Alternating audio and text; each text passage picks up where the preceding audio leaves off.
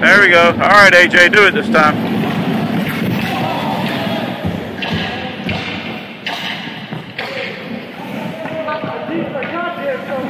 AJ's just going for highlights. He should try to go for goals.